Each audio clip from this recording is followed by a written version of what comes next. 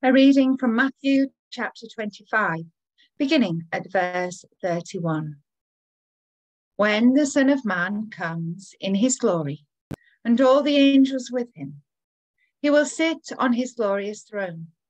All the nations will be gathered before him, and he will separate the people one from another, as the shepherd separates the sheep from the goats.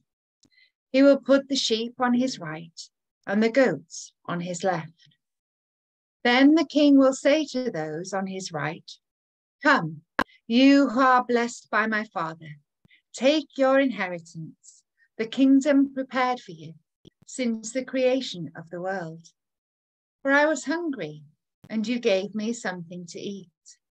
I was thirsty, and you gave me something to drink. I was a stranger, and you invited me in. I needed clothes, and you clothed me.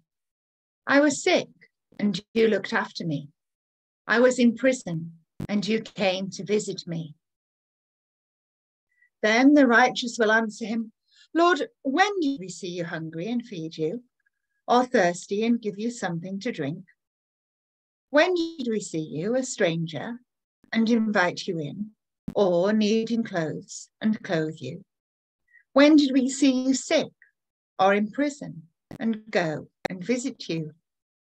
The king will reply, Truly I tell you, whatever you did for one of the least of these brothers and sisters of mine, you did for me.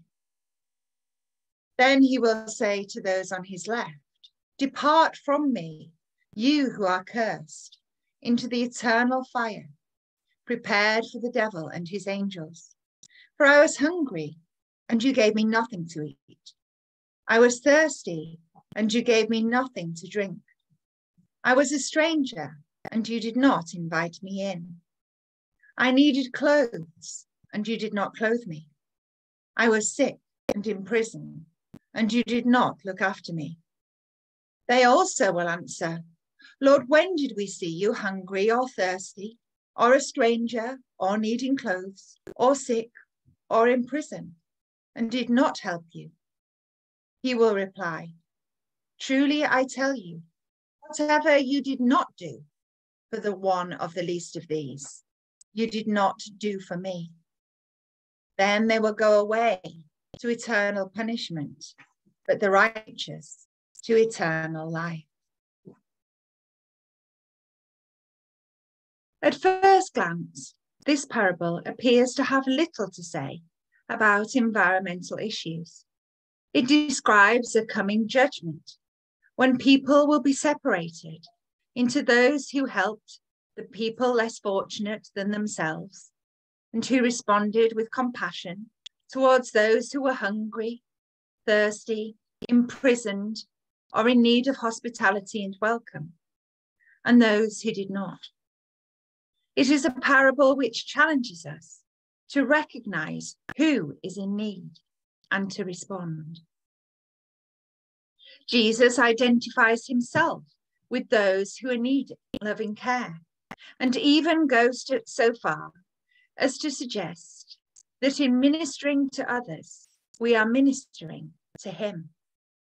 And in ignoring and disregarding others, we are ignoring and disregarding him.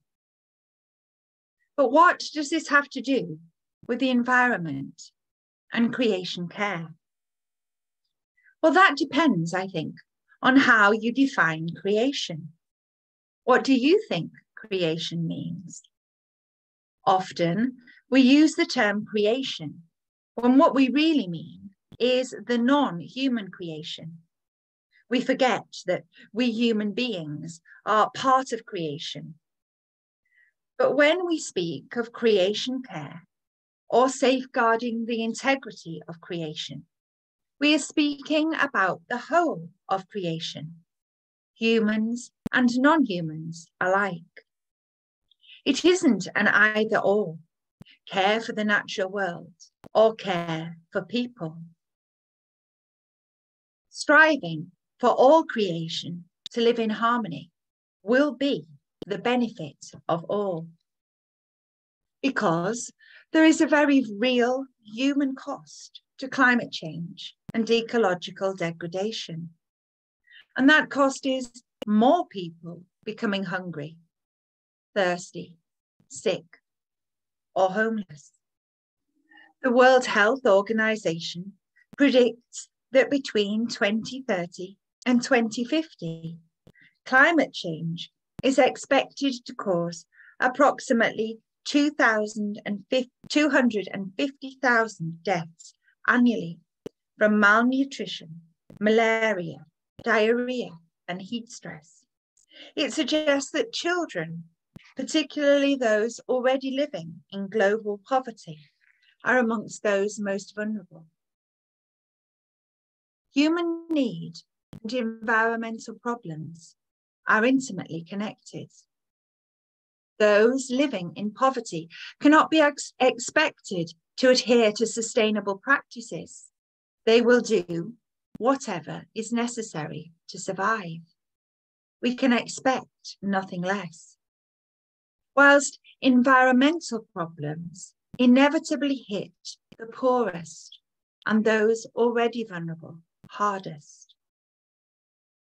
Pope Francis, in his powerful appeal to all people of goodwill, insists that addressing poverty, caring for the vulnerable, and addressing the environmental crises are intimately linked and essential to our vocation, both as Christians and as human beings.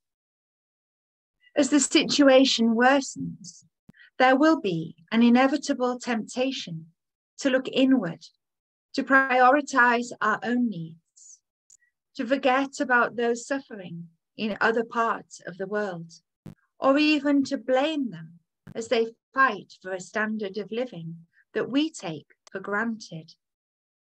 Against this backdrop, it is important to heed the words of Jesus. Whatever you do for the least of my brothers and sisters, you do me.